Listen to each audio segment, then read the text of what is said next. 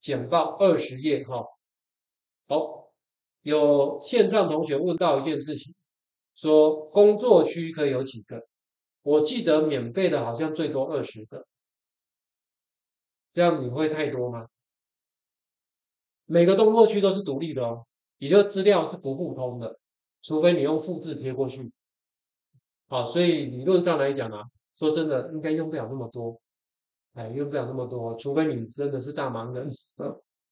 哎，真的真的哦，我现在用一个我就觉得够了，只是因为我上课所以我需要多几个测试的让。大家看到这样好，那我们回到我们的简报这边来哈，就是说 Notion 呢，其实它有四个大架构。那你从右边来看，我们从右边看过来哈，也就是说你可以看到第一个叫做区块，区块区块是 Notion 里面最小的。什么叫做区块？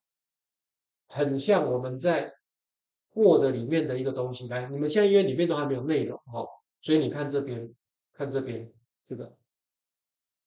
有没有发现点到它旁边都有六个点点，对吧？一个一个两个，也就是说你按一个 Enter，哎，各位还记得，如果你在 Word 里面按下这个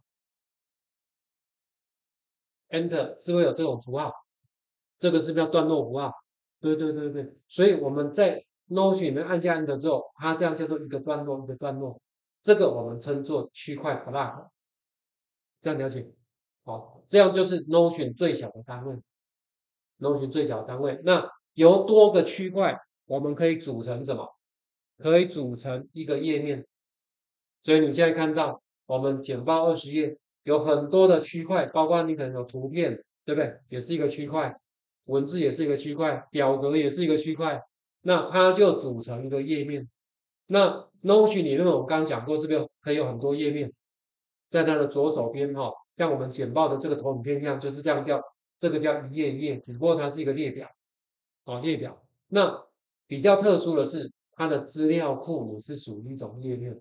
那甚至呢，资料库里面可以包含其他的页面，我的页面也可以包含其他页面，也就是把页面类似当做是什么资料夹的概念。其实我知道第一个小时很好睡啊，哦，因为这个。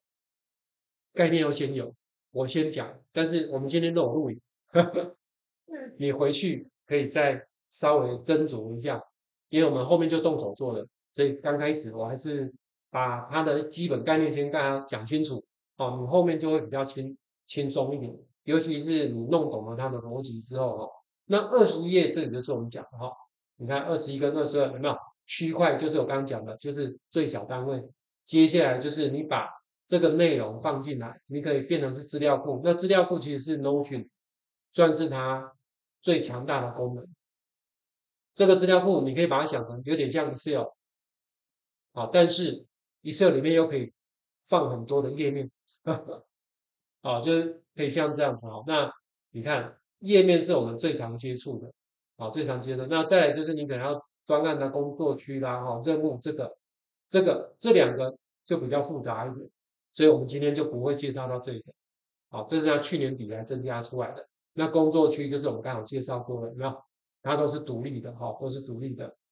好，OK，那简单了解它的这个架构之后啊，好，工作区这里有，好，我有稍微介绍一下，就是最主要就是它的资料都是独立的。好，那如果你要删除的话，因为删除是一个大动作。